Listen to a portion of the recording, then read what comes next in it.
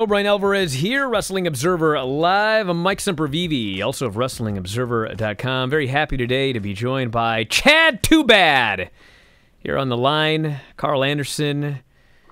How you doing today, Karl? Here, here he is. You know, Chad Too Bad was a man. They, I, I started out wrestling in Cincinnati, and uh, I was Chad Allegra, and I turned heel, and they and they threw the Too Bad on there. And who would have thought that Chad Too Bad would have ended up on any form of WWE at any time. And then we actually walked out on Raw as Tex Ferguson and Chad Too Bad.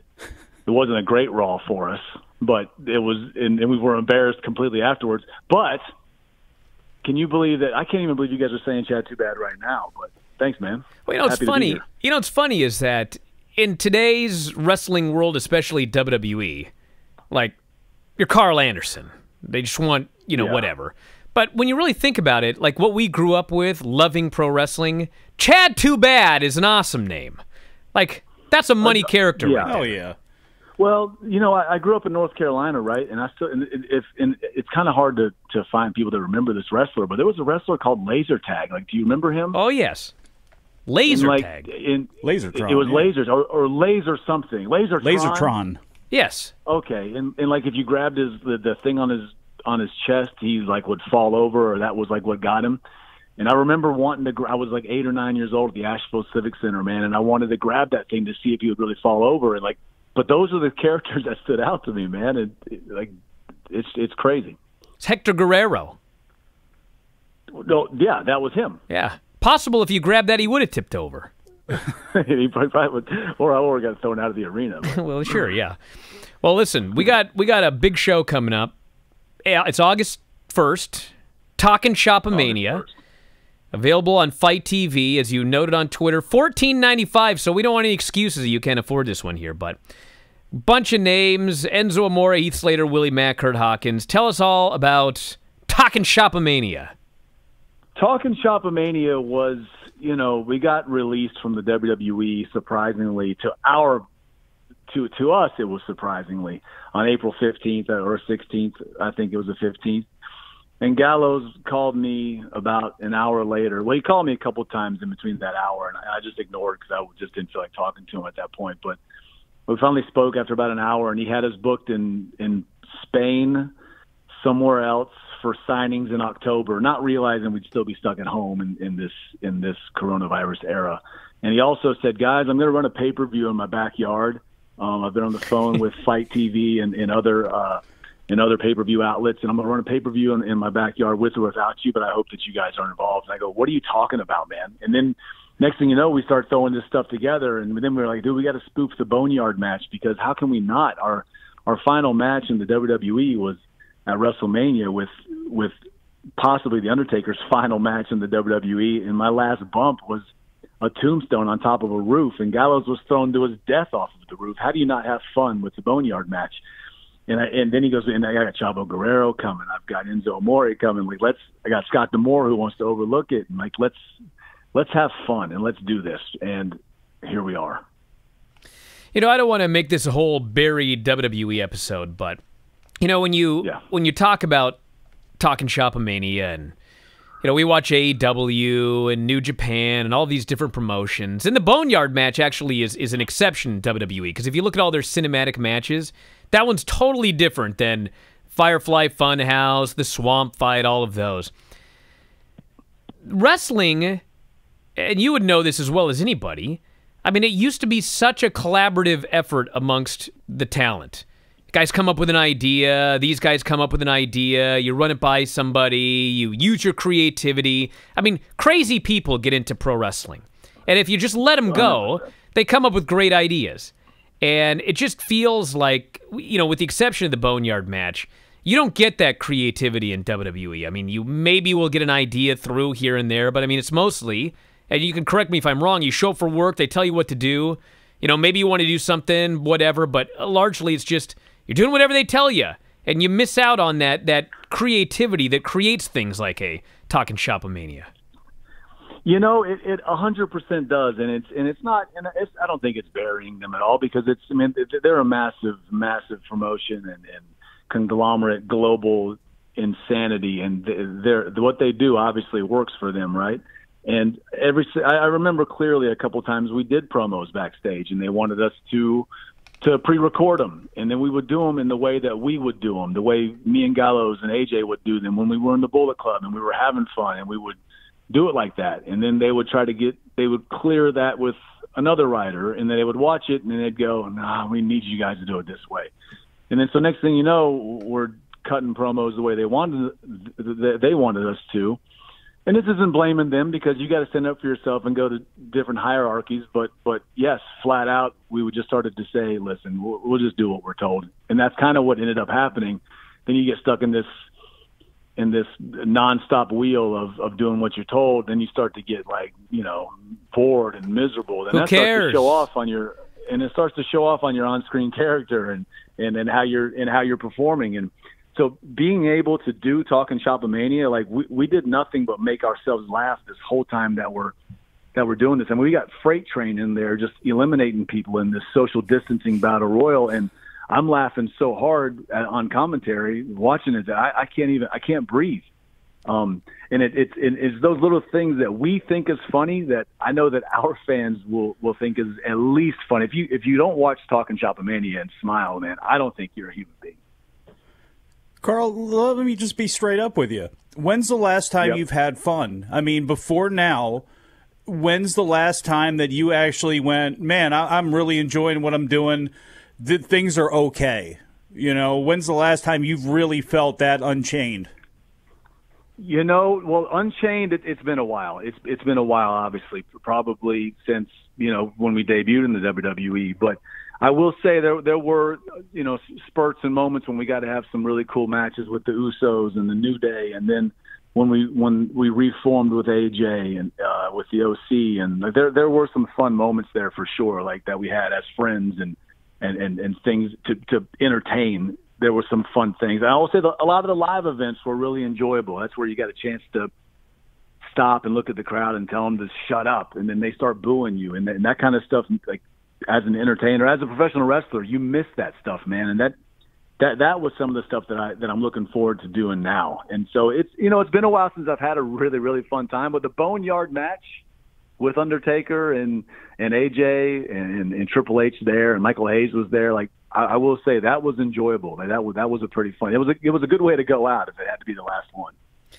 you know, it's funny because I mean, this shouldn't be. I mean, this is obvious, but like, if you have fun putting something together, it's usually fun for the viewers at home.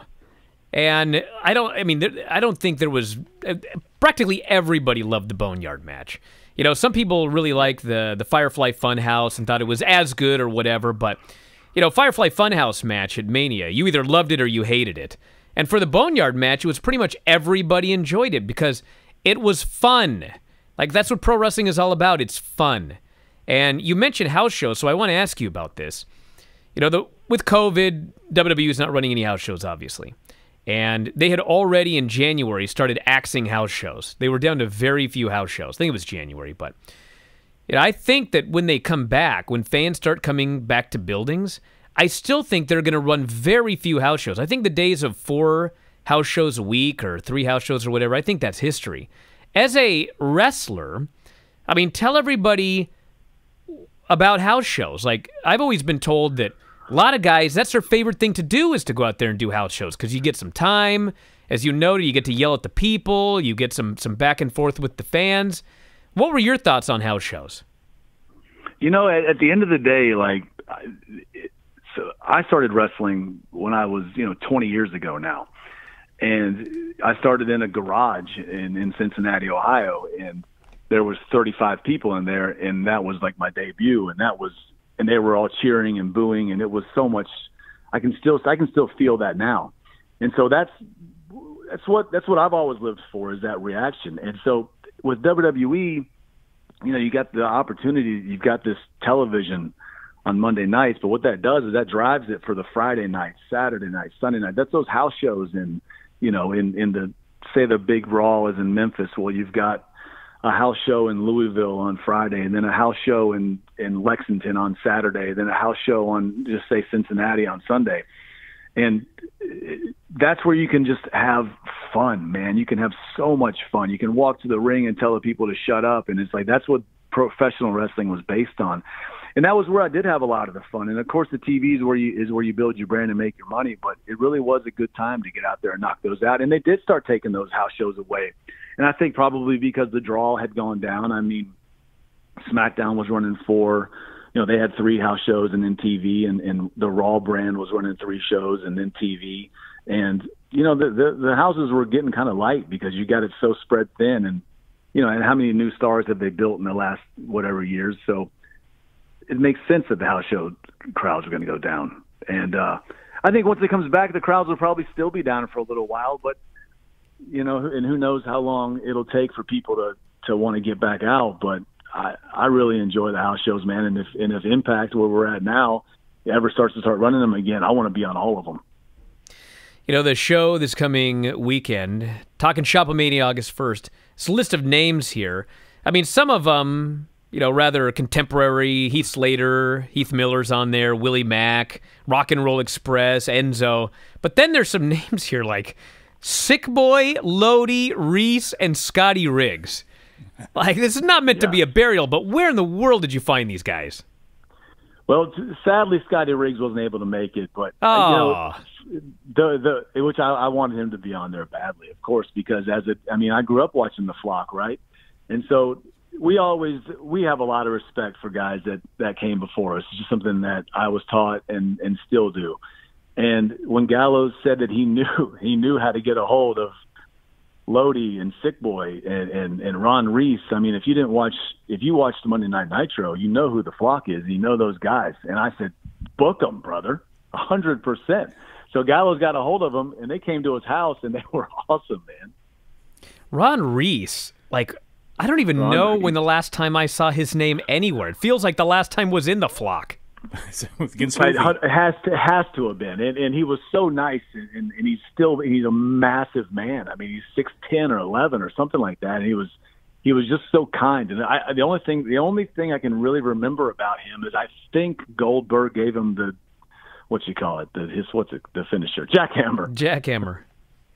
Yeah, that's the last thing I remember of Reese. Was that right? I mean, that's the only thing. I well, know. I mean, during, according during the match with the Raven or something. According to Wikipedia here, uh, his last match in WCW was 1998. He lost to Saturn, who gave him a Death Valley driver. And then I guess wow. he had some matches in, in Japan and for Turnbuckle Championship Wrestling, but it looks like he's not done anything since 2005. Well, I think he was probably happy for the booking and maybe to get out of the house, right? oh man, and ironically, so, his, we, so we had him.